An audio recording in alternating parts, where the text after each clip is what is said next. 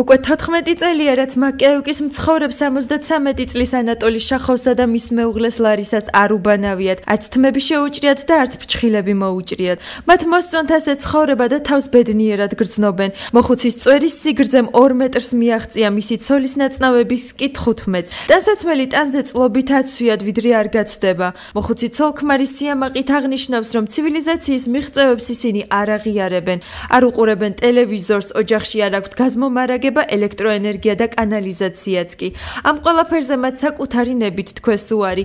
ბედნიერი წყვილი საკვები პროდუქტის შესაძენად ქალაქში თვეში ერთხელ გადის. მოქალაქეებმა რომ არ დასცინონ თმებს ისინი თავსაფრებსა და ქუდებში მალავენ. თავისუფალ დროს ანატოლი კითხვაში ატარებს. მას 2000-მდე წიგნი აქვს. გარდა ამისა ის ლექსებს წერს, ლარისა კი ფორტეპიანოზე საკუთარ ნაწარმოებებს უკრავს.